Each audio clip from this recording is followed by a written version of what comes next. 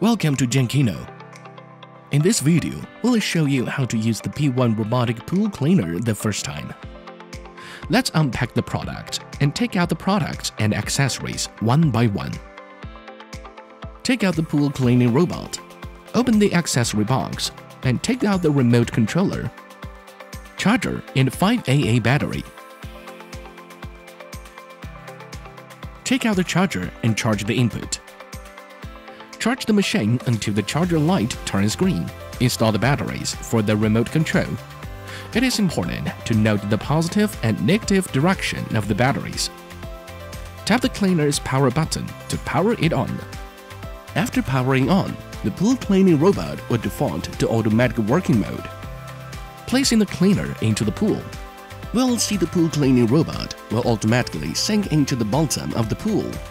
The cleaner will begin to operate approximately 30 seconds when the status indicator of the pool cleaning robot turns blue.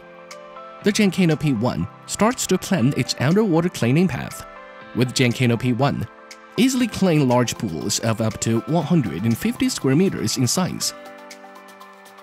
Tap and hold the remote controller's power button for about 2 seconds to power it on. Double-click Mode Switch button to change the manual mode. At this point, the status indicator of the remote control will change to green.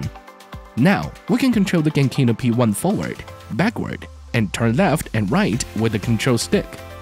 Double-click the power switch button to change the suction power. Different status of the power indicator represent different suction power. If the remote control is turned off during operation, the robotic pool cleaner will automatically switch to auto mode. When the pool cleaning robot has finished its work, it will automatically dock on the shore of the pool and wait for us to take it out. Approach the shore to find it and grab the floating cable.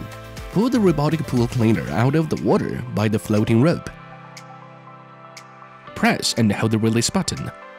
Pull out of the filter tank. Open the water tank. Clean the water tank and the filter